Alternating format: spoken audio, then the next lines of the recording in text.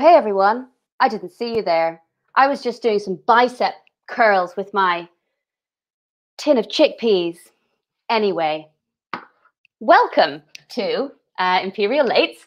This is our online late series for adults. This is our health and fitness edition quiz. So, Imperial Lates, if you don't know much about us, across the week, across one week each month, we explore a different theme with science and engineering researchers from Imperial. This one is part of well-being. It's the last event from this week. Uh, we had some awesome things earlier um, in the week, all about well-being and quite a bit about sleeping. So if you're interested, you can check it out on our website. If you search in your preferred search engine for Imperial Lates. Now, our quiz is quite unique because we center our questions uh, and our themes around research that is currently happening at Imperial. Now, you're very lucky that I have two researchers with me tonight. Uh, they work on gamification and uh, motivating patients to get active uh, so we will have a bit of time at the halfway point to chat to them, but let's just bring them in and give a bit of a wave. Hello, this is Michelle. This is Reneira. We'll be seeing them a bit later in round two, but you've got me for the first 10, 15 minutes of the quiz. We'll see you guys in a bit. So, as I said, welcome to the Pub-less Quiz Health and Fitness Edition. Um, if there is uh, a problem. Uh, either I, if I'm still here, or one of my colleagues will put this slide up, which says that we are having some technical issues, but please grab a drink and stay with us. Um, if there's anything else worse going on, um, either I or one of my colleagues will pop up on screen and tell you what is happening. So, um, before we get into round one, just a couple of uh, housekeeping rules. If you've done a quiz before ever in your life, you will already know these, but let me quickly say um, we would love you to use the chat. You know, I love to chat, and we're going to have to have a chat with our researchers later. So if you've got any fun comments um, that aren't the correct answers during the quiz, then please put them in there. Um, I've got two of my colleagues in the background moderating the chat. Please don't be too inappropriate. There's a certain level of inappropriateness that is acceptable. I think we should all know the difference as responsible adults. Uh, no cheating is another point. Um, there's no prize for this quiz, so there's really no incentive to cheat. You're only cheating yourselves, and it's more fun if you don't. You will be marking your own quizzes. So uh, at the end of each round, I will be giving out the answers so that you don't have to think too far back about what happened. So I'll do round one, then I'll give the answers to round one, then round two, answers to round two. Top your scores um, as you finish each round. And just before the final round, uh, we'll be sending out a link in the chat to, the, to a form where you will say what your scores were for each one. And then the final round, the speed round, will be marked by us. It will be, well, actually auto marked. So you will have to click on that link, write in your scores for the previous rounds, and you will be able to select A, B, and C for each question in our speed round. A bit more about that when we get to it. Um, please choose a team name. That is what you normally do in quizzes. You may have your team with you, um, or maybe they are remote. Um, I would advise, if you haven't already, set up a WhatsApp group or a conference call, if that's more your style, so that you can discuss answers with them. You will have two minutes at the end of each round, apart from the speed round, to discuss your answers and agree. I think that is about everything. If there is something I've forgotten, I will say it in the middle of other things. But yes, please talk to us in the chat. No correct answers, but lots of funny things. Okay, everyone, let's crack on with general knowledge. Question one What does BMI stand for?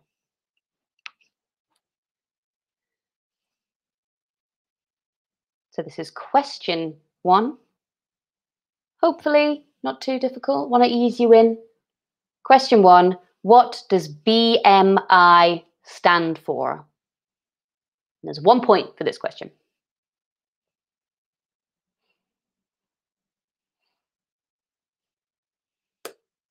Question two According to the BBC's Truth About Healthy Eating documentary, what is the most hydrating drink?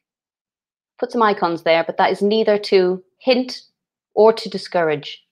They're just icons.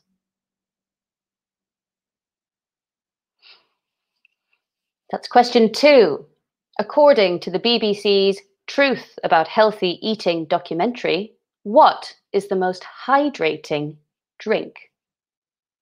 And please do not post any answers in the chat. Keep them to yourselves. We'll be marking the answers at the end of this round.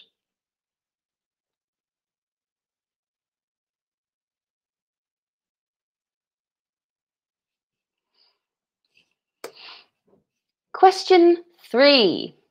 We've all seen yoga take the fitness world by storm.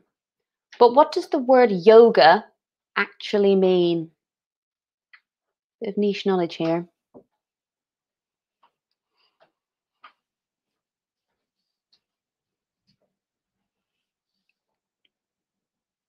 So that's question three.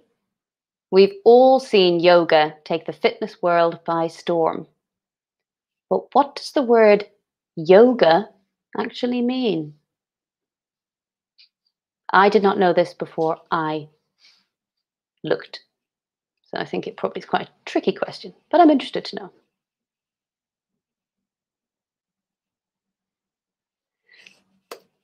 Question four. It's a two pointer, this one. Two points for this question. Monitoring our blood pressure is important for our health. It is measured with two figures, for example, 140 over 90. What are the terms for the upper and the lower numbers? You get two points. One, you can tell me the term for the upper number, and a point if you can, if you can tell me the word for the lower number. I tested this question out on my nurse friends and they got it. So hopefully you got one of them in your team. They know their stuff. This is question four. Monitoring our blood pressure is important for our health. It is measured with two figures, for example, 140 over 90. What are the terms for the upper and lower numbers?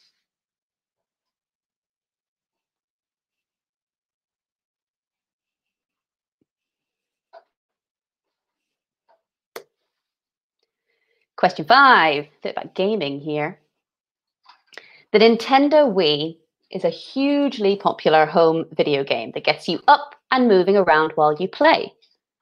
I want to know in what year was the Wii released, the original Nintendo Wii? Was it A, 2005? Was it B, 2006? Or C, 2007?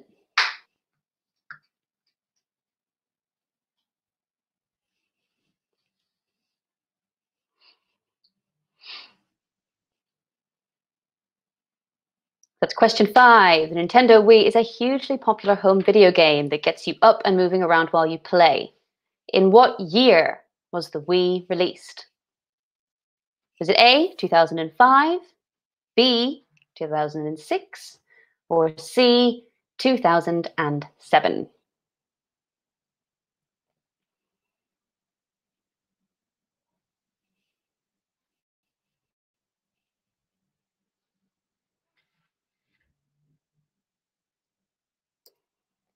Okay, question six.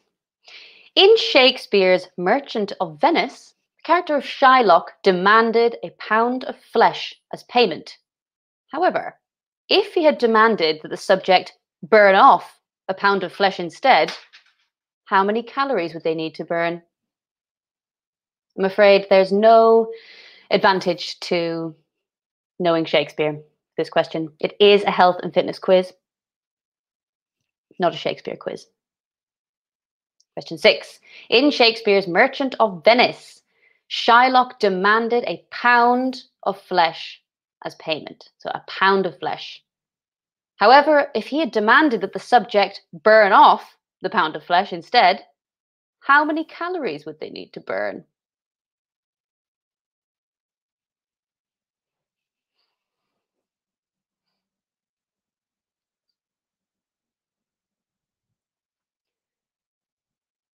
Who's that character that he demands the pound of flesh off? Any any thoughts? Any Shakespeare buffs in the audience? I should know this, but I can't remember. Antonio? No. Some some something EO. okay, question seven. For the yogis out there, question seven. What yoga pose is this? Is it A, the slug pose? Is it B, the snail pose? Or is it C, the caterpillar pose? Maybe you want to really get into character, try out the pose. What does that make you feel like? Slug, snail, caterpillar?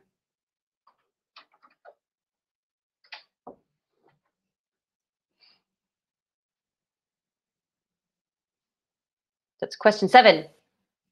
What yoga pose is this? Is it A, the slug pose, B, the snail pose, or C, the caterpillar pose?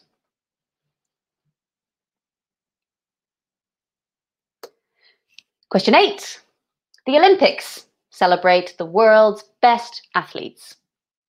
Now, I don't know if you remember, but there was controversy a few years ago when South African athlete Caster Semenya was banned from competing in the 800 meters. Why was she banned? So the question there is why was she banned from running the 800 meters? I think she was a double uh, double gold medalist. That's question eight. There was controversy in the Olympics when South African athlete Caster Semenya was banned from competing in the 800 meters. I want you to tell me why was she banned? You don't have to have anything word for word. As long as you get the sense of it, then you can have the point.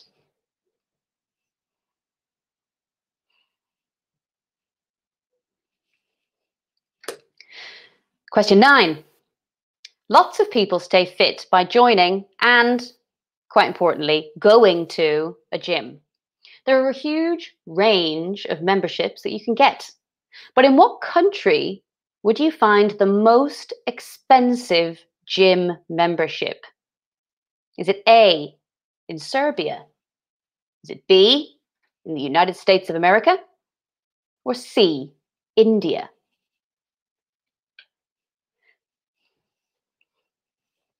So I want to know for question nine in what country would you find the most expensive gym membership? Is it A, Serbia, B, the United States of America, or C, India?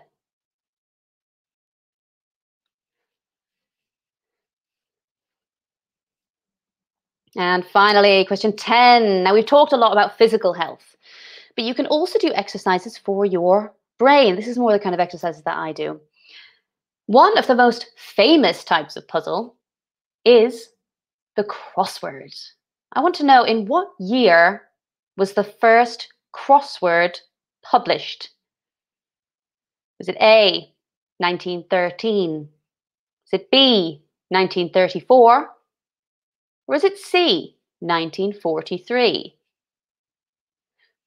And in the on the slide there, you can see the image of a crossword. That is, in fact, the first crossword ever published. That was the original crossword. But in what year was it published? Was it A, 1913? Is it B, 1934? Was it C, 19 43. Now you have two minutes from the moment I click to the next slide. Two minutes to discuss with your teammates who are either next to you or maybe they are isolating elsewhere. Two minutes and then I'll come back and we will mark your scores. Go.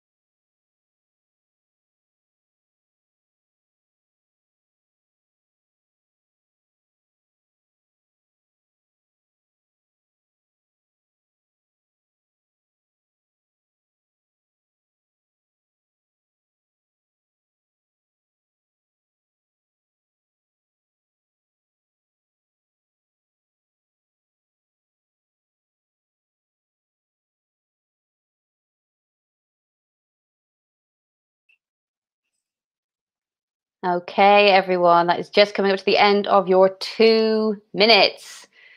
So, just in case anyone's unsure about how you uh, mark and submit your scores, what I want you to do is mark it just as you would a normal quiz. I'll give you the answers now and at the end of each round. But just before the final round, we're going to put a link in the YouTube chat that will take you to a form where you'll put in your team name, your score for round one, score for round two, and score for round three. And then you will click next, and that will take you to the final round, round four, which is our speed round. You answer the questions in there, you click submit, and then it will all come to us and it will magically turn into a scoreboard, which we will share with you to announce the winner. So all you need to think about right now is just keep track of your scores in each round, which we'll ask you for later. Okay, everyone, time is up. So let's do these answers. And I would love to hear from you in the chat. Um, we're going to pop you up on screen if you say anything really cool or very funny. Uh, would love to hear from you. So, round one, I asked you, what does BMI stand for? One point for this. It stands for Body Mass Index. So, hopefully, all of you got that. Uh, body Mass Index, it's a measure that people uh, use. It's their height and their weight that they use to work out if you are healthy. For anyone who would like to know, uh, the formula is uh, your weight in kilograms divided by your height squared. Anyone want to know? Question two, according to the BBC's Truth About Healthy Eating, what is the most hydrating drink? It is, in fact, milk. Milk is also amazing for things that are spicy, uh, but milk is apparently the most hydrating drink, probably because of high levels of electrolytes, sugar, calcium, protein, lots more stuff in it than water. So this is, this is probably why. But milk when I found the answer out to this, I drank myself a glass of milk and I did feel very refreshed. My sister keeps telling me to shut up about milk. Question three. We've all see, seen the yoga. We've all seen the yoga. You've seen yoga take the fitness world by storm. Did anyone actually know what the word yoga meant? Did anyone get this? The answer is union. It's union. Yes, I would love to know if anyone got that right. Did anyone want to make a good a good guess at what yoga means? Maybe you were a bit close, but I will only accept the answer union. That is all. Question four. Uh, I want to know the terms for the upper and lower numbers uh, when measuring your blood pressure. So there's two points for this. Uh, so one point if you got systolic pressure, that's the upper number, and one point if you got diastolic pressure, that's the lower number.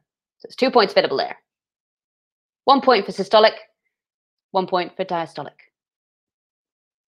Okie dokie. Question five. I want to know in what year the Nintendo Wii was originally released. It was 2006. I know it wasn't very kind there, putting the answers just a year apart. But I didn't want to be too obvious. I don't want to patronize you. Uh, if anyone really wants to know, it was specifically November the 19th, 2006. Question six. If Shylock in Merchant of Venice had demanded that the subject burned off a pound of flesh instead of giving it to him, how many calories would they need to burn? The answer to this is 3,500 calories. So people often use this calorie model to lose weight. They create a deficit in their diet of 3,500 calories so that they can lose a pound. Very clever.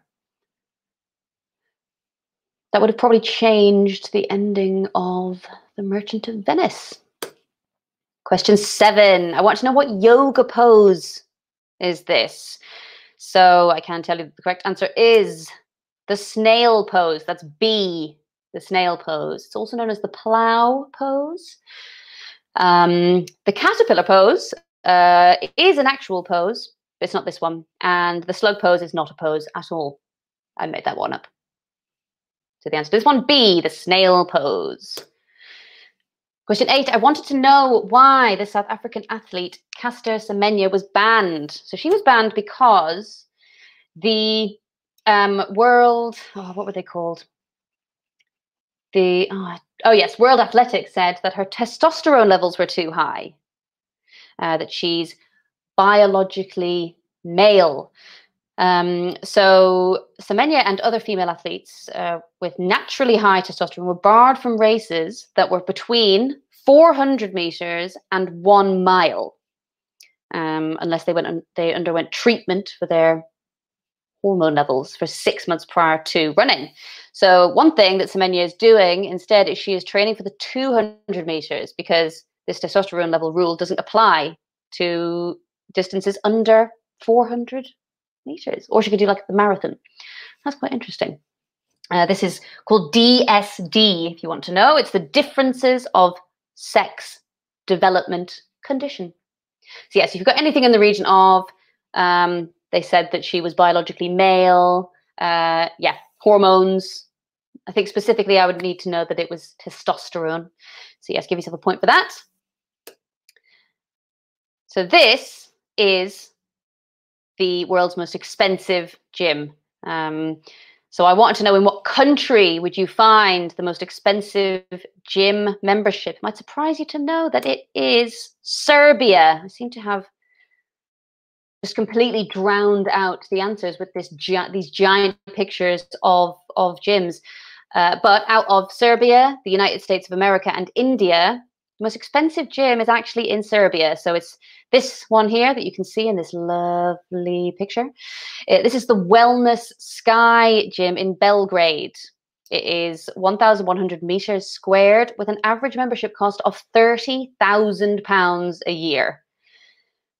£30,000. Uh, the most expensive gym in America is $30,000. So it works out a little bit less. That's in Arizona. And funnily enough, even though um, USA and Serbia have the most expensive gym memberships, neither of them are on the list for healthiest countries in the world in like the top 30. Neither of them were in the top 30. Um, I mean, I paid £20 a month for a gym. That kind of does me. And finally, question 10. I wanted to know when the first crossword puzzle was published. It was as early as 1913. Uh, it first ran in the New York World newspaper on the 21st of December 1913, and it was created by a journalist named Arthur Wynne from Liverpool. Uh, one of the clues in this, and you can have a little search online and see if you can actually do the answers for this, but one of the clues was, What is this puzzle? And the answer to that was a four letter word hard. So, everyone, top your uh, your answers um, the scores to your answers. Jot it down because we'll be asking you later. Um, and now we're going to do our researcher round. So uh, you saw them for a split second at the start of the quiz, but let's meet them properly. So uh, our researchers are, I'm going to get rid of this PowerPoint so you can see them lovely. Hello. So our first uh, researcher that I'm going to allow to introduce herself is Reneira. Uh, hello, Reneira. Tell us a bit about who you are. Hi, so yeah, I'm Reneira and I'm a PhD student currently at Imperial. I have a background in neuroscience and I'm currently working on developing an AI-based wearable that will help people with lower back pain to perform uh, their physiotherapy and exercise from home using gamification. That is super cool. Uh, and a bit more about that later. If you're uh, um, interested in learning anything more about uh, the research of these guys, uh, send us questions in the chat. They'll be passed on to me and we can ask them at half time, which will be after this round. Uh, so our second guest, who is not Michelle, was actually meant to be Leeza, uh, but unfortunately, after helping write this quiz, she has no voice whatsoever and is unwell. So I've told her not to put herself at the mercy of a YouTube audience tonight. Uh, she is sitting quietly and cozily in the background. And uh, if she can offer any expertise on topics that I know nothing about, she will be doing that. She has written uh, four quiz questions for you, which I will be the voice. Uh, and Leeza's main research is on developing software to assess motivation to self train. So she's part of a team who are developing the first online social network of collaborative gaming exercises, and that will be used online uh, and with bedside motor rehabilitation. I hope I did you justice, Leeza. And finally, we have Michelle. Who are you, Michelle? Hi, I'm Michelle. I'm an occupational therapist by background. So I normally work in a hospital with people after they've had a stroke. Um, and I'm now in the second year of my PhD, and I actually work on the same project as Leeza, looking at how technology and gaming systems can be used to help stroke survivors recover after stroke, so in physical rehabilitation. Awesome. Thank you, Michelle. Okay, so we're gonna um you're gonna join me in turn for the questions that you have written. So uh Reneira has written questions one to four, uh Leeza has written five to eight, and Michelle has written nine to twelve. So we'll be seeing you in a bit, Michelle, but Reneira is with me first. So um yes, let's get you on on the top because you're the most important person. So uh take it away, Reneira. Right, so question one um, How many muscles are there in the back? Is it A3, B12, C56, or D120? I'll just repeat that again. So, how many muscles are there in the back? Is it A3, B12, C56, or D120? Think I said this in the run through, uh, Reneira, that I, I thought that B12 was a band, but actually it's a vitamin. And one of my colleagues corrected me and said that it's it's D12. That's the band. That's the I think Eminem was in that, and it's something to do with being in D- Detroit. You never heard of D12? Uh, they've got an excellent song, the only one I know called "My Band." Uh, okay, sorry. Please continue. Right, uh, question two. So, when we normally speak of the abs, which muscles are we referring to? Is it A, rectus abdominis, B, transversus abdominis, C, triassic abdominis, or D, rectus absinthe?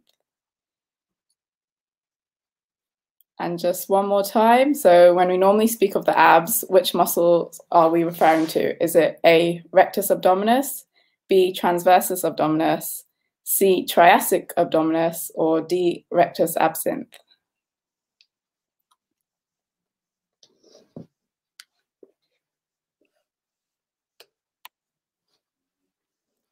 And now for question three.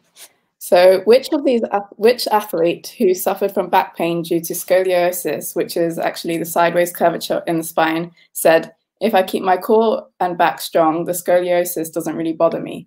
Is it A. Donald Trump, B. Usain Bolt, C. Justin Gatlin, or D. Harry Kane?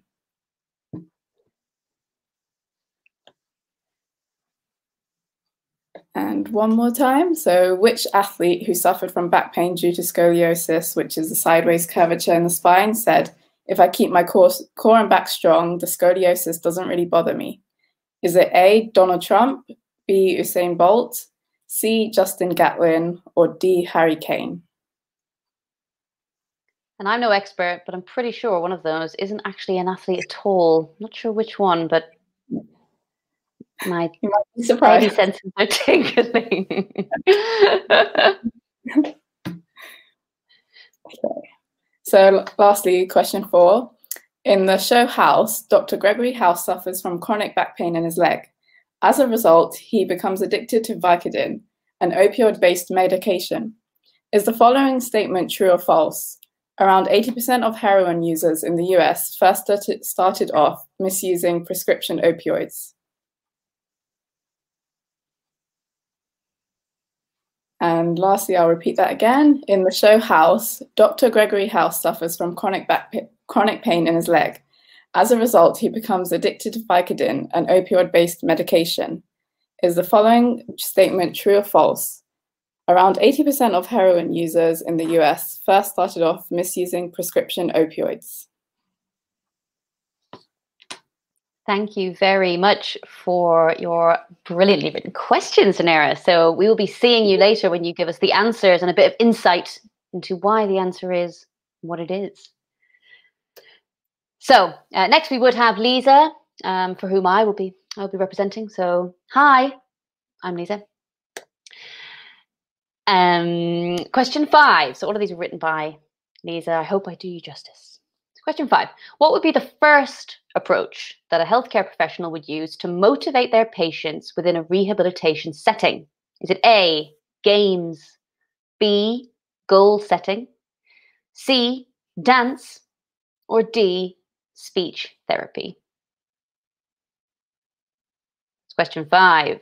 What would be the first approach that a healthcare professional would use to motivate their patients within a rehabilitation setting? Is it A, games, B, goal setting, C, dance, or D, speech therapy?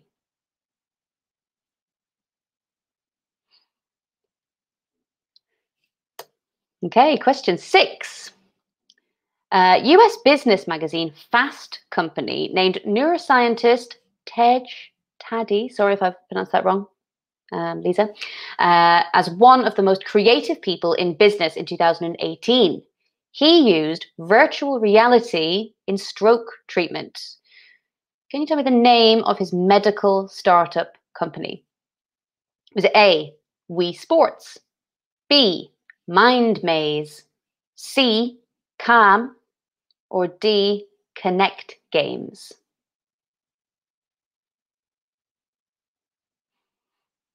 So, question six US business magazine Fast Company, not one that I personally read, but maybe there are people out there who do. Uh, they named neuroscientist Tej Tadi as one of the most creative people in business in 2018. What was his medical startup company? Was it A, Wii Sports, B, MindMaze, C, Calm, or D, Connect Games?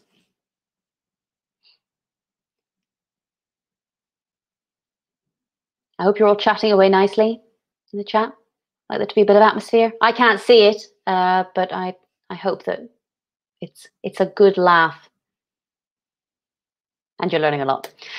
Question seven: Which Hollywood actor's father survived a stroke in 1996? I'll give you a hint. The actor in question starred in Fatal Attraction and A Perfect Murder.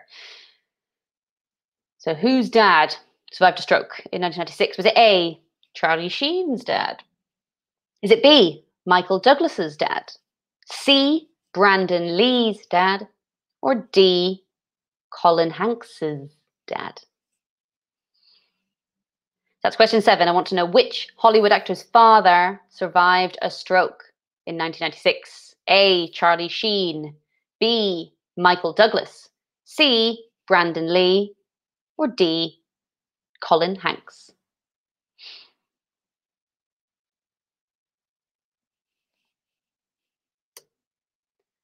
And the final question from Leeza, a bit about gaming app. So question eight, want you to name the game app released in 2010 that requires the user to slice various objects on screen, which later research showed improved scores in limb strength and motor function for stroke patients.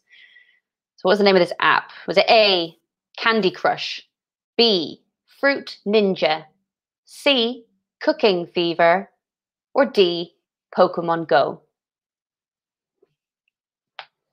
Who knew that an app would be so awesome in rehabilitation? Something that we're going to talk about later with our researchers. That's question eight. I want you to name the game app released in 2010 that requires the user to slice various objects on screen, which later research showed improved scores in limb strength and motor function for stroke patients. The A, Candy Crush, B, Fruit Ninja, C, Cooking Fever, or D, Pokemon Go. And now we bring back Michelle to deliver her questions. Welcome back, Michelle. Thank you. Take it away. Um, so, question nine BBC presenter Andrew Marr had a stroke, aged just 53, that almost killed him. For stroke survivors like Andrew, it's common to experience residual weakness on one side of the body. Why is this? Is it A? People often suffer a fall or traumatic injury at the time of the stroke. Is it B? The muscles on one side of the body no longer receive nutrients from the brain. Or C? the part of the brain affected by the stroke stops sending messages to the body. So, for stroke survivors, it is common to experience residual weakness on one side of the body. Why is this? Is it A, because people suffer a fall or traumatic injury at the time of the stroke? B, because the muscles on one side of the body no longer receive nutrients from the brain? Or C, the part of the brain affected by the stroke stops sending messages to the body?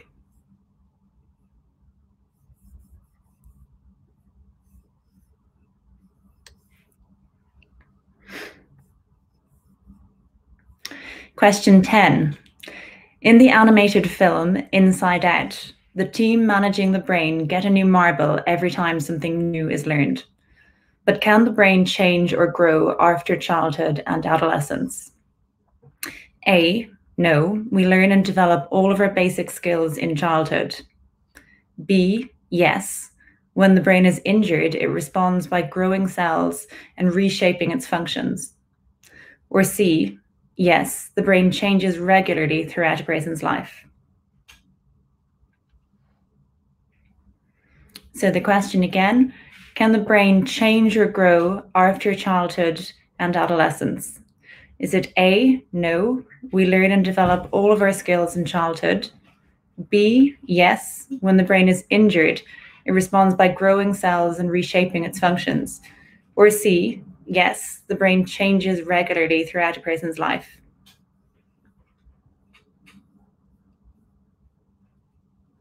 I love that film and that little person there. That's mm. that's joy. That's joy. She's wonderful. Question 11. It is often said that practice, practice makes perfect. We've all heard the 10,000 hour rule. After brain injury, how many repetitions of an arm movement does a person need to do each day to prompt brain recovery and make meaningful improvements in arm movement?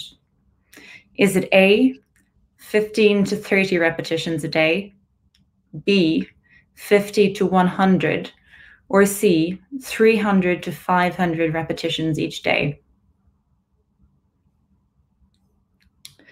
So the question again, after brain injury, how many repetitions of an arm movement does a person need to do each day to prompt brain recovery and make improvements in arm function?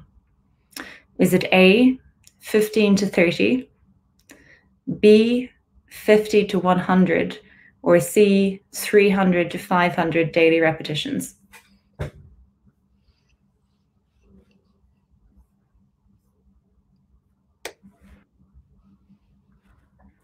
And finally, question 12.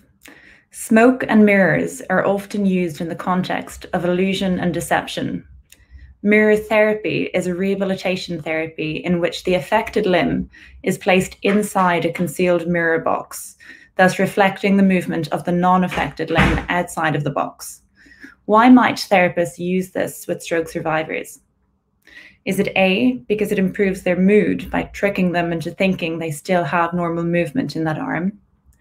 B, it has no effect at all, it's just a myth. Or C, it helps improve movement by re and reduces pain in the limb. So again, mirror therapy is a rehabilitation therapy in which the affected limb, usually the arm, is placed inside a concealed mirror box. And so then the unaffected limb is reflected on the mirror box. Why might therapists use this technique? Is it A, because it improves patients' mood, tricking them into thinking they still have normal movement? Is it B, that actually it, has no, no effect at all, it's just a myth? Or C, it improves movement and reduces pain in the arm? Got some tricky questions from you, Michelle. Let's weed out the strong from the weak in the quiz. Okay, so you're going to get two minutes, everyone, just like the first one, to confer with your team. We'll see you in two minutes for the answers.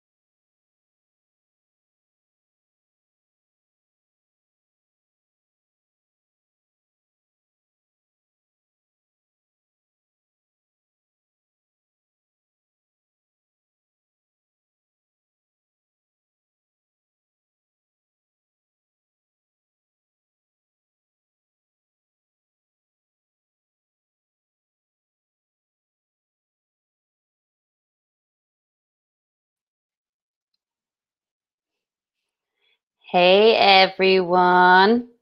Okay, I hope that you have got your answers ready.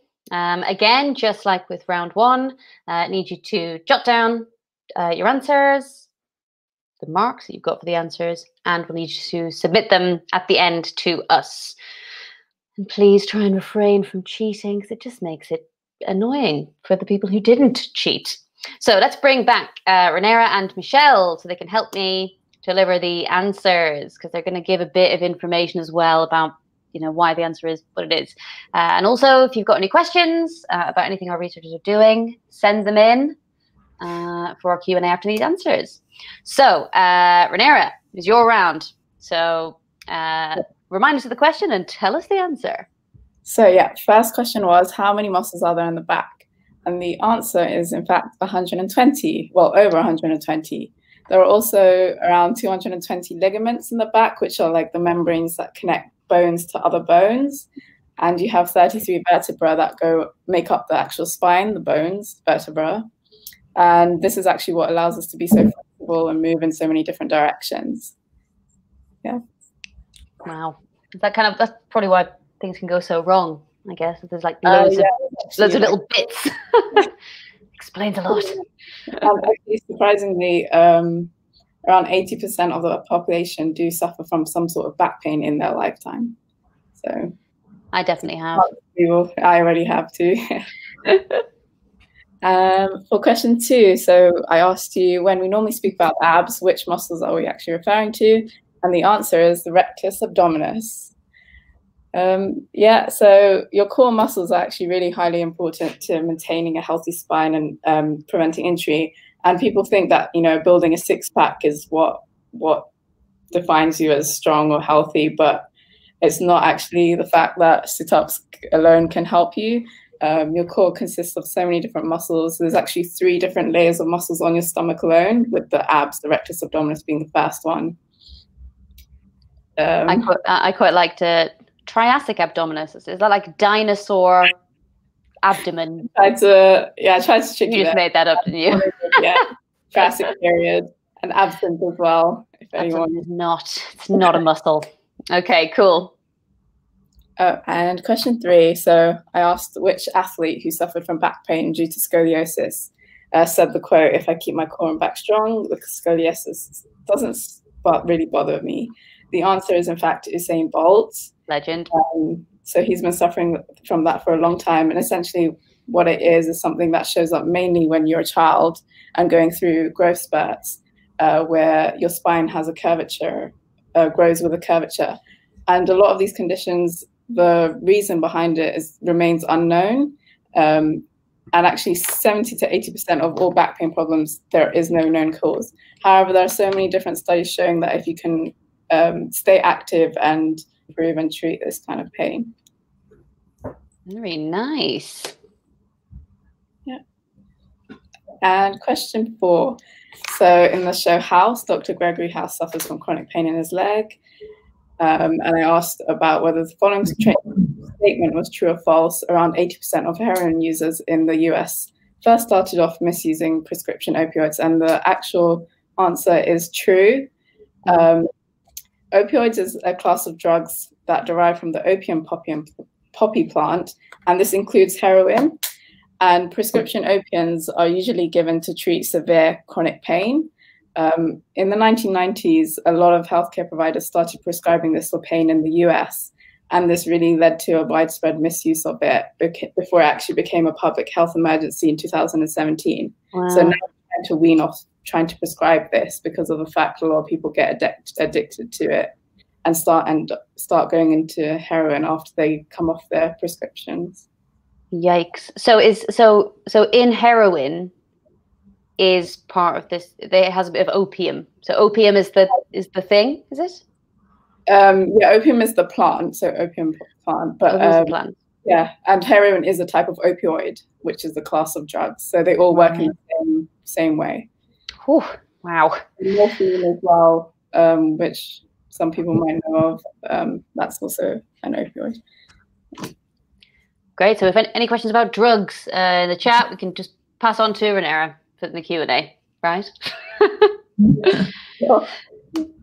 Okay, question five. So I'm going to give the answers for Leeza's um, round, but please pitch in, Michelle um, and Reneira, because I'm not an expert on any of these things.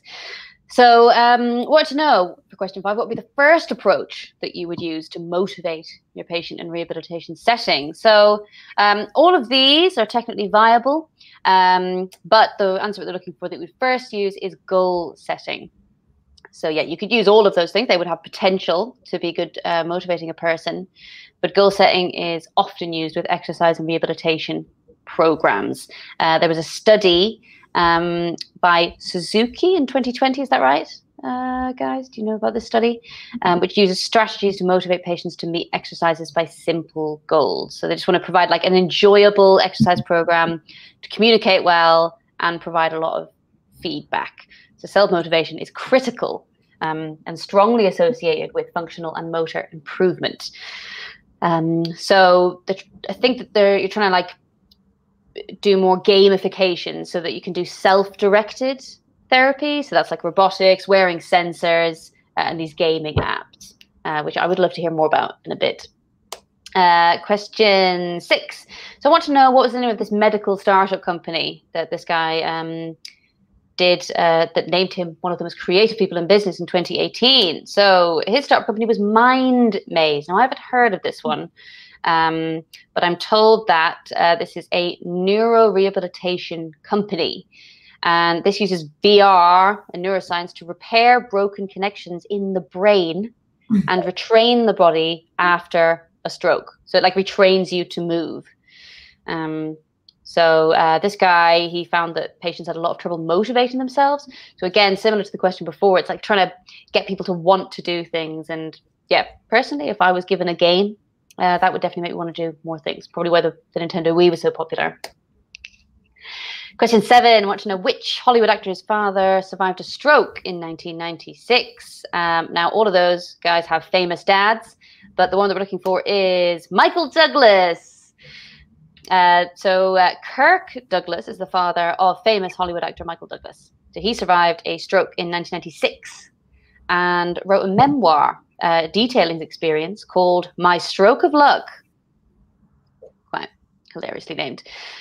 Um, so it was surprising that after the stroke, he went on to make two films. And he said, "I am." Uh, he said, "I am lucky, although my speech is still impaired. I suffer no paralysis, and I didn't die." And he actually uh, survived to the age of 103 uh, and only died just in February this year. So had a stroke in 96, lived to be 103. So that is a legend of a guy. And question eight, I want you to name the game app that was released in 2010 where you sliced various objects. And the answer to this is Fruit Ninja. I definitely remember this coming out. You get like a samurai sword and you slash across the across your your smartphone. So the game allows users to improve uh, abduction, um, uh, extension, rotation, and it requires quite a lot of dexterity because it's timed with the falling fruit. So the difficulty increases uh, as you go on, and the fruit falls faster, and there's and there's more things. And what's interesting about this game is that um, there was a study in 2015 that found that using this app with patients um, with subacute stroke for an hour, five times a week, improved their scores on upper limb strength and motor function. So, apps, games, fun games for moving is the way forward for me, anyway. Okay, so uh, Michelle, your answers. Take it away. And so, question nine is asking for stroke survivors, it's common to experience weakness on one side of the body. Why is this? And the answer is actually C. The injured part of the brain stops sending messages, and that's nerve signals from the brain to the body. So, when a person has a stroke, it's caused by a bleed or a clot in the brain. And the functions associated with that part of the brain then become impaired. So the right side of the brain controls the left side of your body. So when you have an injury or a stroke on the right side of the brain, it, it often leads to weakness on the left side of the body. And Andrew Marr actually made a phenomenal recovery. I'm sure many of you'll see him on TV still. Um, but he, like more than 60% of stroke survivors, still suffers weakness on one side of his body. And you can actually see it when he presents his TV show. He sits in a certain way where he supports his arm and kind of moves it um, yeah. So yeah, he, he's one kind of example. But I think it's it's one of the things everyone knows about stroke to identify stroke. If you see it, there's a really effective campaign called the FAST campaign. Um, yeah. And it's one of the first signs of a stroke, having a stroke, is, is that weakness happening on one side of the face. What's um, fast yeah. against it? Is it so? Is it face? Face, face arm, slur, speech, and time. So face is the, the drooping of the face, arm is the weakness or paralysis in the arm, speech is a slurring of speech, and then time is is to act quick, the time to get to the hospital. Yeah. Whew, good thing to remember, everyone. Yeah, well, today is actually um, World Stroke Day. Yes, um, I was I meant to mention that at the beginning because yeah. you told me this earlier. Yes. Yeah, so it's, there's a lot of talk about you know the the warning signs for stroke, but also the importance of activity for stroke prevention. So, um, the age of stroke is getting younger and younger. So people often think that when people have a stroke, they're old, but actually, two out of three people who have a stroke are under the age of 70 now, and, and we all have a one in four chance in our lifetime of having a stroke. So, actually, physical activity while we're healthy is one of the key aspects of preventing your risk of having a stroke. That's a really good thing to remember, particularly when we are locked down in our houses, not to yeah. sit around too much, not for the sake yeah. of not getting fat, but also so that we prevent uh, future health problems. That is a scary but good advice. Thank you. Um, so, question 10 Can the brain change or grow after childhood and at adolescence? So, there are actually two correct answers to this, both B and C. So, in response to brain injury, processes known as neurogenesis and neuroplasticity happen in the brain. This is the brain's way of essentially restoring and, and healing itself. Um, but beyond this, the brain actually changes every time we learn, learn a new skill, adjust to a change, or make a memory. So, new learning is thought to be critical to maintaining a healthy brain because every time we're learning, our brain is growing a little bit. Studies actually suggest that exercise can help to prime our brains for learning. So, things like um, going out for a run before you do some study or um, in a in a stroke context, we would often try and get get someone's heart rate up before we try learning more specific fine motor skills and things with patients. Nice.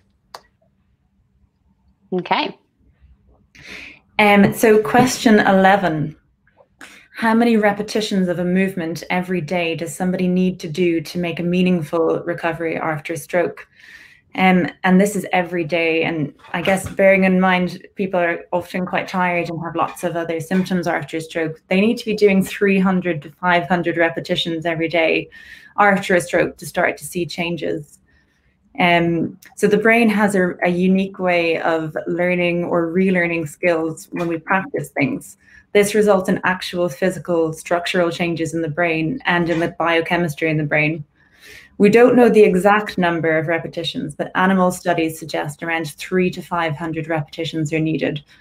Um, so for stroke survivors who have quite severe weakness and can't do a full movement repetition, even visualizing a movement can start this process of recovery. And that's one of the most important things that we know right now is, is that essentially move it or lose it after brain injury and stroke movement is so important for recovery. Move it or lose it. Yeah, it's it's tough but true. Mm. Okay, final question of the round. Um, and so question 11 is about mirror therapy, which is kind of a bizarre thing when you see it in practice. If, if anyone um, is interested, I would suggest looking it up on YouTube. So it's when someone actually puts their hand in a box that's surrounded in mirrors and then it tricks your brain into thinking that your your weak arm is moving when you move your, your stronger arm. And um, so the answer to this question is C, that actually it does improve movement and reduce pain after a stroke. So by setting this this mirror system up, the brain activates different regions for movement, sensation, and pain. So studies show evidence that this is helpful at both increasing someone's strength and movement and also reducing their experience of pain in an arm after brain injury. And um, there's still a lack of consensus as to how this works. So we don't know what mechanisms are happening in the brain um, to, to explain the phenomenon, but um, it's something that's quite often used in practice.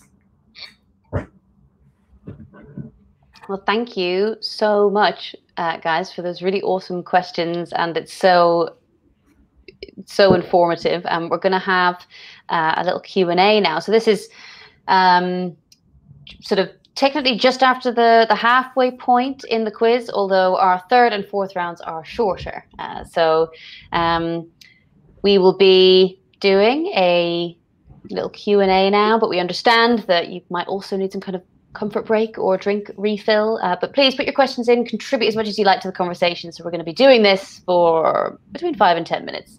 So I'm going to make us full screen so you can get us in all our glory.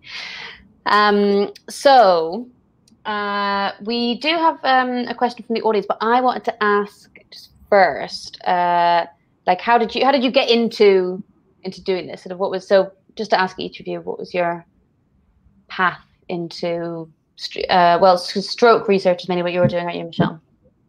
Yeah. So, and as I was saying um, when I introduced myself, I work in stroke rehabilitation normally as an occupational therapist, and and so my job as an OT involves looking at how different life circumstances change the way we do things every day. So, in the case of a stroke, having having a stroke has has vast consequences for for how someone's memory and cognitive skills work, and and how their movement and their ability to walk. And and so that knock-on effect trickles into every aspect of their life. So people can't return to work and their normal jobs.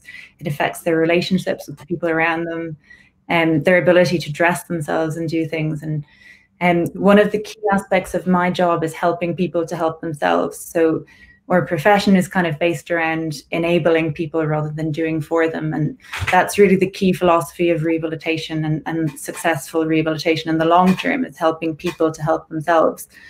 Um, so I guess that's a long way around to saying that my research is is looking at just that, how we can help stroke survivors to do more exercise on their own time, because we know that's what they need to do to make a meaningful recovery in the long term. Um, and so that's how I got into the the research area I'm in now, I was I was working clinically and asking kind of a lot of questions about how we could improve some aspects of how we were helping patients. Um, and then my supervisor was was looking at the same question, so we've kind of teamed up and, and are part of this project now. What um, and is your project? Uh, I think this is the one that we spoke about. Is it grippable?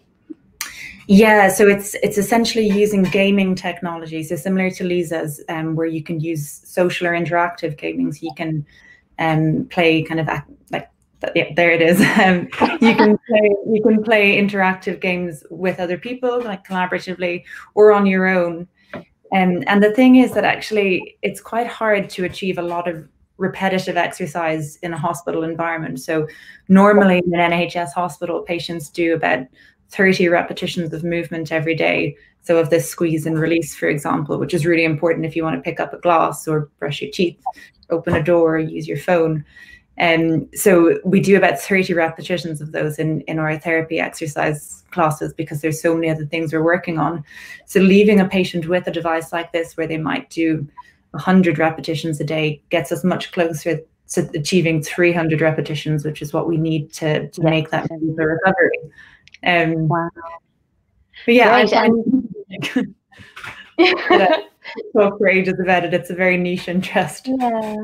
Thank you. And um, Reneira, just re- remind me of the, your sort of um, the, the main area of what you're doing, so we can so our, to our audience remembers. It's been a while since we did that two uh, two sentence intro. uh, yes, I'm actually working mainly on chronic lower back pain, and we're kind of extending on Grippable in the fact that we're using gamification um, and trying to extend that to uh, physiotherapy for people that have back pain. So essentially, there's kind of studies that show uh, compliance to perform physiotherapy at home for back pain patients is as low as 30%. Um, and so uh, gaming has been shown to really be a way of increasing that. And currently, there aren't really any gamified systems that actually measure muscle activity on the core. And as I said, there's many studies out there that show that strengthening the core, so not just your abs, but underneath that, the three layers um, below, and also your back muscles, can actually help to prevent and reverse uh, back pain. So that's that's the area. Yeah, and I, I love that, that, that when you when you wrote that question about the abs because I think a lot of people do consider if I've got a, a six pack, whatever, that that's that means I'm really fit and healthy. But um, Yeah, like you almost have this cradle for your spine. There's got to be this whole uh, area. Is that right? Uh, yeah, so the transverse abdominis, which is one of the an- other answers on the, the list I gave, uh, that's actually known as the anatomical girdle, which kind of is like a corset that wraps right around the torso. And that's the main, the most, well, can be argued to be the most important for stabilizing your spine and keeping it in an upright posture. So, really important to build on that for your strength, Awesome. for your posture.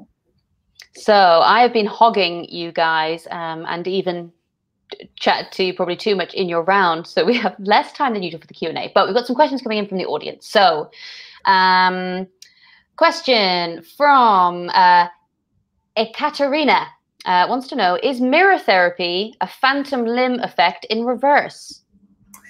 Um, that's interesting. It's actually one of the treatments of phantom limb pain.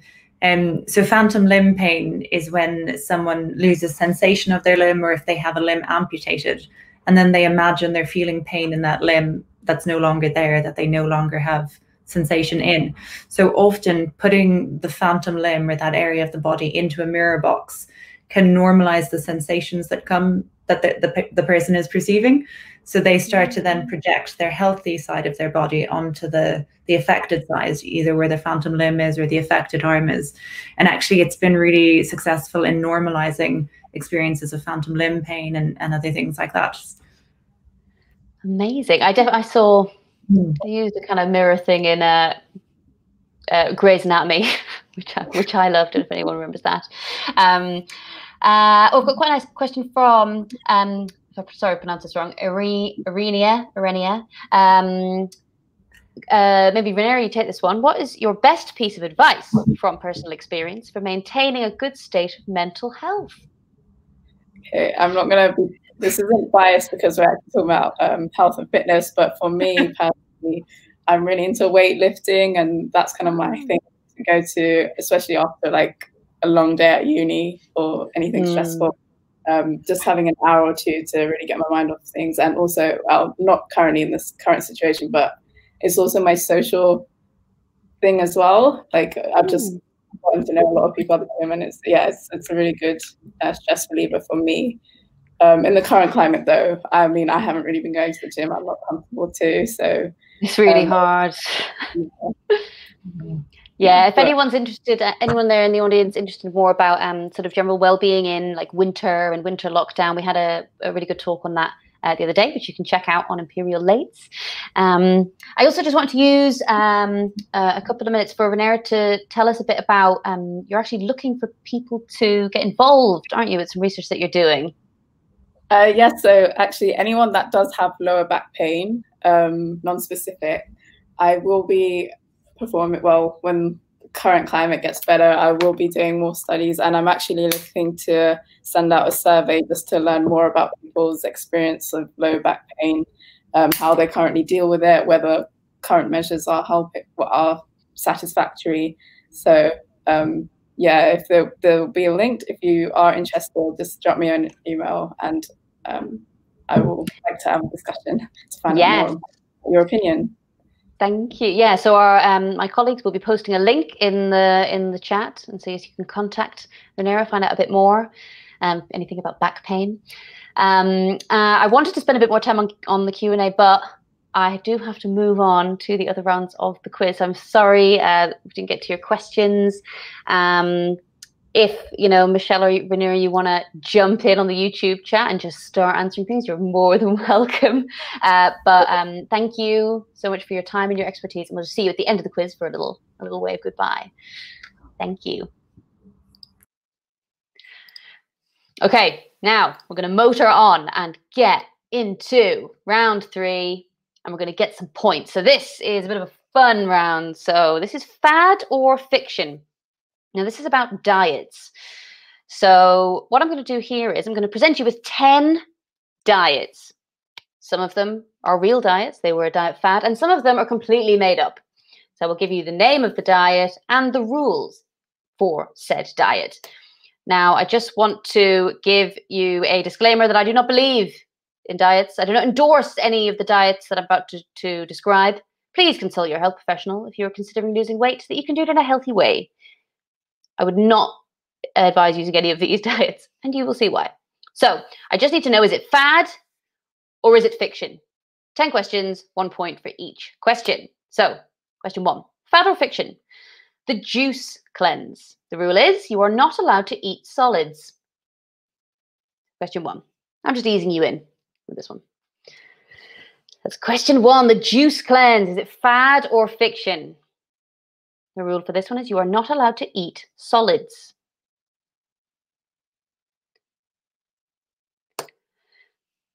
Question number two Fad or fiction?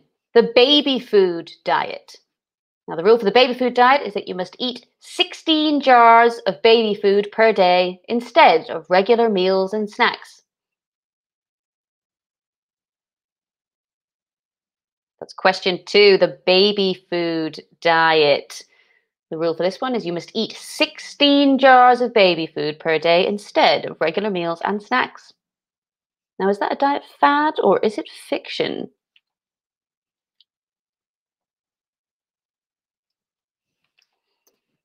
Question three Fad or fiction? The scary diet. Now, the rule for this one is you must only eat while you are watching a disgusting horror film. Is that fad or is it fiction? So that's number three, the scary diet.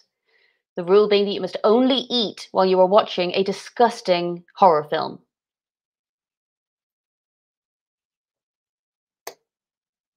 Question four, the vision diet.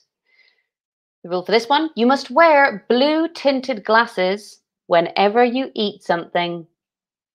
Is that fad or is it fiction? Question four, the vision diet.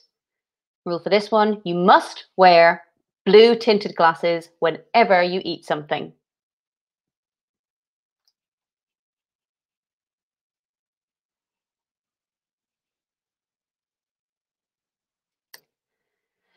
Question five, the aversion therapy diet. The rule for this one, every time you eat something, it must be followed with an act of pain. Now, is that fad or is it fiction? Question five, the aversion therapy diet. The rule for this, every time you eat something, it must be followed with an act of pain to put a little graphic in there for you just in case you weren't familiar with pain. Fad or fiction? Question six.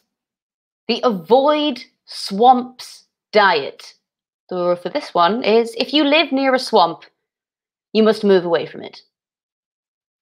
It's quite a geographical uh, diet. That's question six. Is this fad or is it fiction? The avoid swamps diet. The rule is if you live near a swamp, you must move away from it.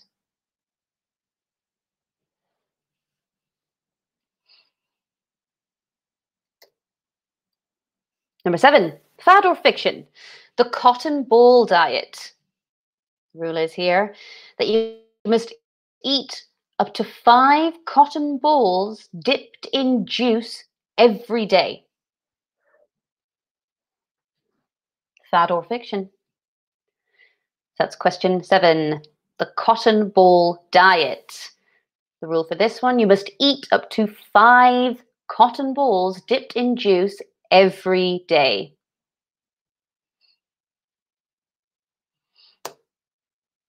Question eight the tongue patch diet.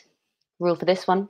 You must get a plastic surgeon to sew a patch onto your tongue.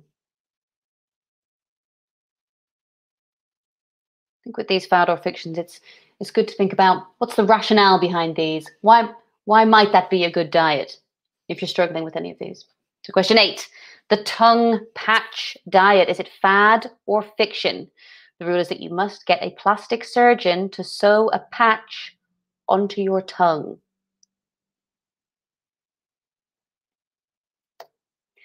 Question nine, fad or fiction? The what goes around comes around diet. The rule for this is you must dress or marinate everything you eat with your own urine? Question nine fad or fiction? The what goes around comes around diet. The rule being that you must dress or marinate everything you eat with your own urine. And finally, number 10, the prayer diet. Rule here being you must pray every day that you will lose weight. Is that fad or fiction? This is question 10. The prayer diet. Rule is you must pray every day that you will lose weight. Okay. Going to crack on. Two minutes. See you in two for the answers.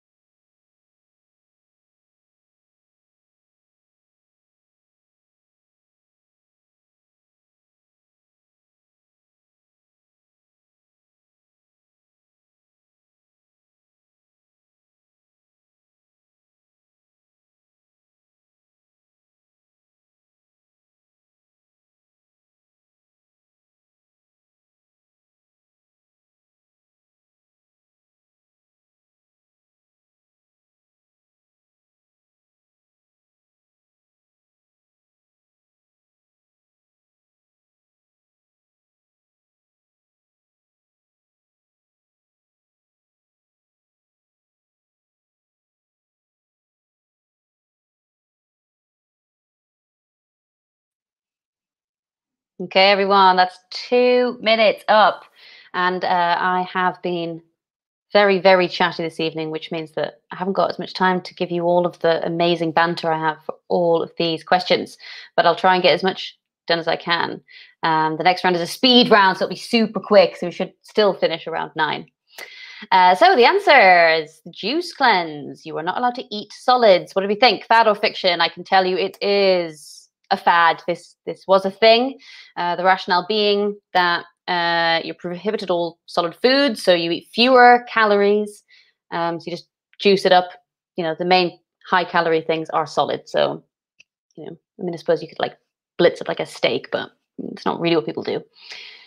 Um, So one point if you said fat. Uh, the baby food diet. The rule being you must eat 16 jars of baby food per day instead of regular meals and snacks. This is in fact a fad. It's a real diet fad that happened. And that's because it's easy for people to create a calorie deficit, apparently. As I said in my disclaimer, I do not support any of these diets. Please do not uh, eat baby food every day. Uh, consult your health professional. Uh, question three, the scary diet. The rule being you must only eat while you're watching a disgusting horror film. This is, it's fiction. It's not real. I made this one up.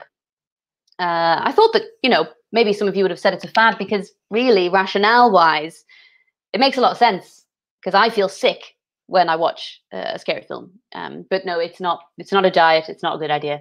It's fiction. Question four, the vision diet. Uh, you have to wear blue tinted glasses whenever you eat something. This is true. This is a fad, an actual thing that happened. Um, so uh, people said that red, yellow kind of foods are the most palatable, like meat, uh, French fries. And this diet makes food look less appetizing, so you eat less. Um, yeah, bl blue glasses. That's what they say. But yes, fad, a real diet. Number five, the aversion therapy diet. So the rule being every time you eat something must be followed with an act of pain. Uh, this is fiction. I made this up. Fiction, not a not a real thing. I mean, aversion therapy is a thing. That's where all of that electroshock therapy came from. Uh, ouch. Um, so that's my basis for my lie about this diet. But no, it's not an actual. It's not an actual thing. Fiction. Number six, the avoid swamps diet. If you live near a swamp, you must move away from it. Uh, strange as it may sound, this is, this was true. This was a fad. Um, this is what I found on it. That uh, in 1727, a guy named Thomas Short observed that that fat people live near swamps. So he wrote this treaty titled The Cause and Effects of Corpulence and introduced his only logical weight loss tip, which was to move away from the swamp that you live near. That was the 1700s, though. But it was a real fad at the time. Uh, number seven, the cotton ball diet. So the rule being you must eat up to five cotton balls dipped in juice every day. Horribly, this is true. This was a fad. Um, people doing it to fill up their stomachs, and it's definitely not not very safe. But it was a fad. It's a real thing. Uh, number eight, the tongue patch diet. This is getting a plastic surgeon to sew a patch onto your tongue. Would you believe that this was a diet fad? So people basically wanted to make consuming food so painful that you had no choice but to have either liquid only or nothing at all. I mean, I think that's insane. So you wanted to get them to put actual stitches uh, in your tongue. Ha, gross. But yeah, real thing, fad.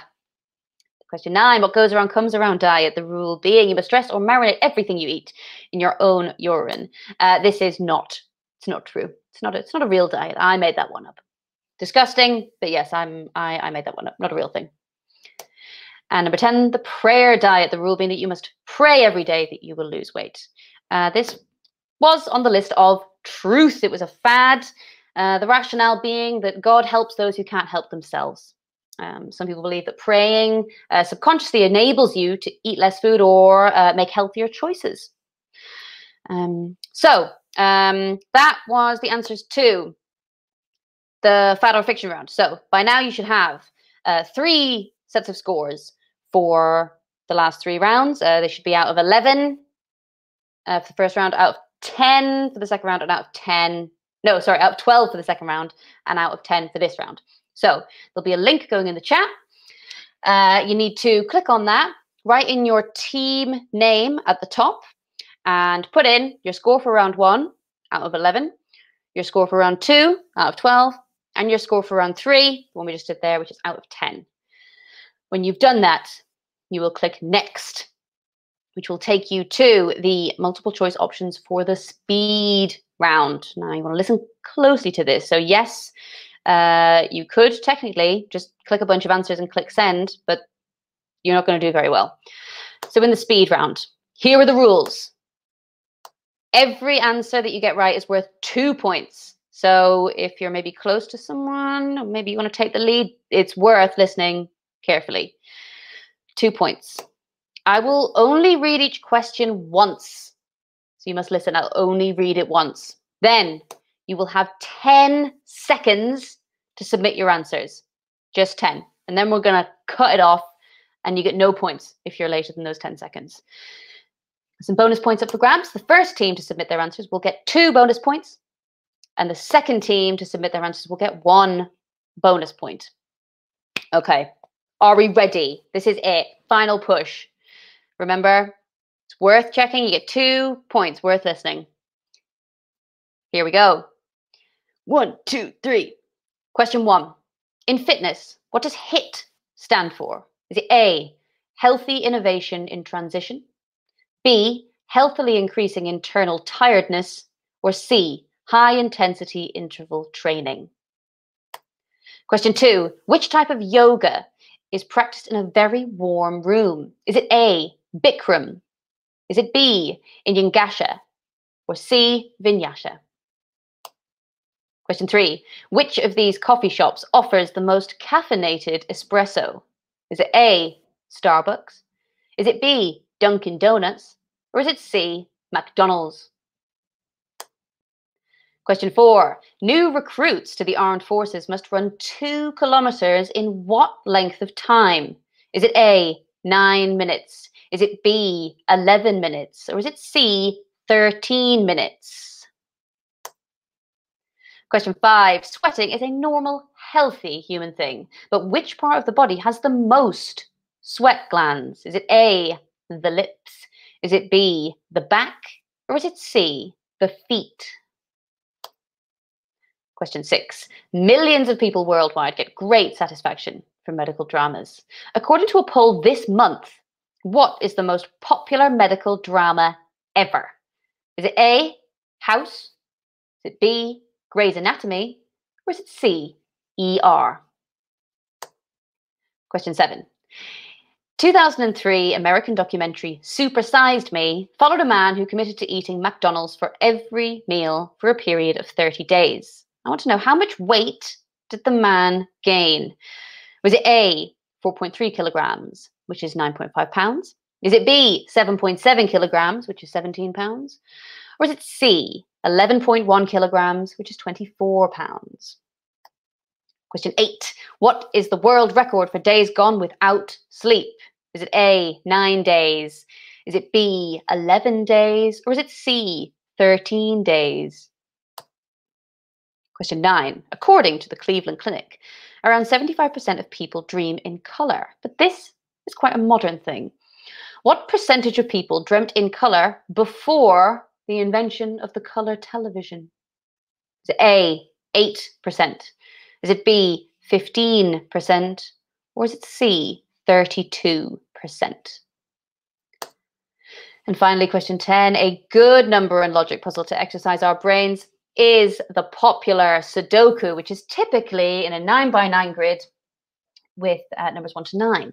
What is the vari- What is the name of this variation of Sudoku? Is this A, a samurai?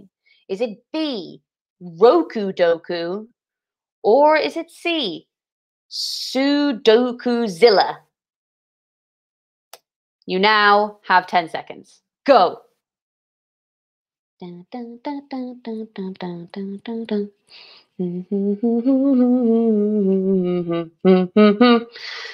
Okay, everyone, time is up.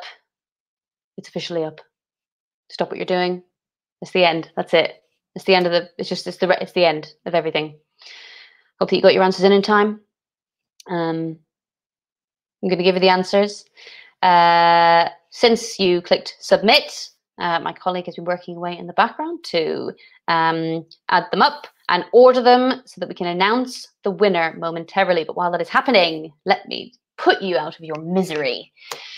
Question one I asked you in fitness what does HIIT stand for? So I hope that you all got this right. This is high intensity interval training. So that's where people alternate short periods of intense activity, um, uh, which can be good for improving cardiovascular fitness. Um, so some people swear by it. Uh, question two, want to know which type of yoga is practiced in a very warm room. So the answer to this is Bikram yoga. Uh, so Bikram, yeah, it's in like a sauna-like room uh, at about 40% humidity. Uh, the one I gave you there, Iyengar, uh, I made that one up. That's not, it's not even a it's not even a term. And uh, C, vinyasa is uh, is a type of yoga, but it's not the right answer. That's considered to be the most athletic yoga style. Uh, so, question three: I want to know which of these coffee shops offered the most caffeinated espresso. I can tell you that the answer is uh, Starbucks. Um, so uh, the, the, information online for this is judged by milligrams of caffeine, caffeine per ounce. So McDonald's uh, is 9.1 milligrams per ounce. Dunkin' Donuts, 15 milligrams per ounce. But Starbucks, way up there with 20.6 milligrams per ounce. So bang for your buck if you really want the caffeine. Uh, go for Starbucks, but not for lots of other reasons. Question four. New recruits uh, to the armed forces must run two kilometers in what length of time? So the answer to this is 11 minutes. So exactly, it's uh, it's 11 minutes and 15 seconds. uh, and this is to meet the entry requirements, although some roles do require faster times. So it's designed to just test their aerobic fitness levels. 11 minutes. Question five. I uh, I asked you which part of the body has the most sweat glands. So while you might think that you're sweating most from your back, it's in fact your feet have the most sweat glands. They have over 250,000 sweat glands. Um, your back does have a lot, but not as many as that. And your lips actually have no sweat glands at all. You don't sweat from your lips. Uh, not the lips, not not not here, but you know, upper lip, sure. Uh, other places you do not have sweat glands are your nails and your ears. No sweat glands in there. No need to put deodorant on those. Uh, oh yes, question six. So uh, I didn't quite agree with this answer, but that's what the polls say that the most popular medical drama ever, according to the general public, is House. I mean, I do like House, um, but my personal favorite is Grey's Anatomy. Uh, I don't know what everyone thinks there in the chat. Do you agree? Do you agree? I mean, yes, House is very good, but Grey's Anatomy just does it. It just does it for me, and I can't wait for the next series to come out. Uh, question seven. This documentary was nuts. Uh, and this guy, he did gain all of these amounts of weight with C, 11.1 kilograms being what he gained at the end of the 30 days. So uh, after five days, he gained 4.3 kilos. After 11 days, he had gained 7.7 kilos. But by 30 days, he had gained 11.1. And it took him nine months to lose the weight that he put on in those 30 days. Uh, question eight. What was the world record for days gone without sleep? Do not recommend you try this at home. Uh, the record is 11 days, and this record is held by 17 year old American Randy Gardner. Uh, on the 11th day of his without sleep, he was asked to subtract seven repeatedly from 100 and he stopped at 65 and when he was asked why he had stopped he said that he'd forgotten what he was doing. And that was about time to go to sleep they thought. 11 days. Question 9 according to the cleveland clinic around 75% of people now dream in color. But i wanted to know before the invention of the color television how many people dreamt in color? So it's only 15%. Only 15% of people dreamt in color before the invention of the color television, which is kind of it's kind of crazy because you know life is generally in color. Uh, it didn't just happen through the television, but 15% anyway. It's one of those crazy facts about sleep that I found. There's lots of other interesting facts about sleep. I suggest you look them up. Uh, and question 10, um, I wanted to know what the name of this Sudoku variation is. And this is a samurai Sudoku uh, with five interwoven grids. You have to kind of sol solve them simultaneously. Um, uh, the other ones are actually types of Sudoku. I didn't just make them up. So the Roku Doku is six uh, two by three rectangles. And the Sudoku Zilla, which sounds made up, is 110 by 10s. I've never tried one of those, and I don't particularly uh, intend to. Um, I'm just going to check with my team in the background if we're ready to tell you who the winner is. So if you just give me a moment. Um, okay, it looks like we're ready to go. So, uh, yep, time for the final scores. So, Let's um, bring up what we've got here. Oh, yes. Okay, now I'm half blind, so let's just zoom. Fantastic. All right, so, nope, bit more. Gonna need to zoom in there. Bit more of the zoomings. I don't know how we do that. um, or I'll just have a little guess. So, oh, here we go. All right, R times three. Uh, Great. So is that uh, is this you're in first or last? Oh, I'm so sorry. R times three. You're in last. You're in last place.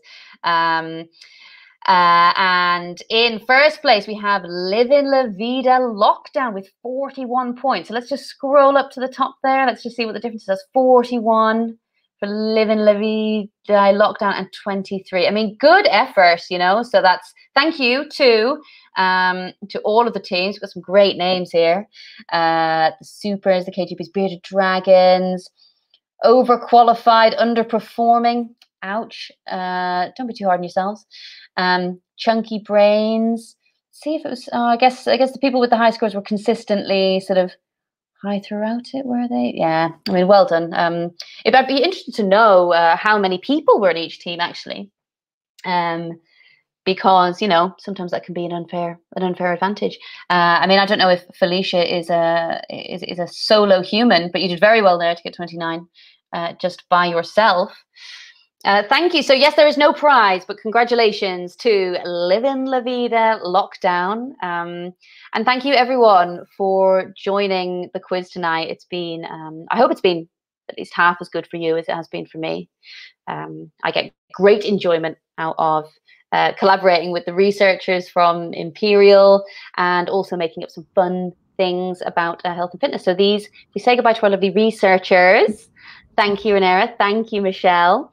Um, I'm just going to tell you a tiny bit about what's happening next, just before you uh, head off to, I don't know, bed or the last, I don't know, 45 minutes at the pub before it closes. So our next Imperial Lates, which will be the last one of the year, will center around food. And this is one of my favorite uh, topics. It's going to be called Food for Thought. And that's in just a few weeks, which starts on Monday, the 30th of November and ends with another awesome quiz written and hosted by me on the 3rd of December. There will definitely be some kind of festive element to the quiz because I love Christmas, so I will be dressing up. I suggest that you also do that as well. You can check out more details if you go to imperial.ac.uk forward slash what's on, uh, or you can follow us on Twitter at Imperial Spark. So do sign up for the next one. Um, yes, great comments. Thank you, Lauren. Uh, I'm glad you enjoyed it um, you know tell your friends um, you know the more competition the better. Thumbs up from people. So share what you've learned. Laugh about what you didn't know. Thank you and goodbye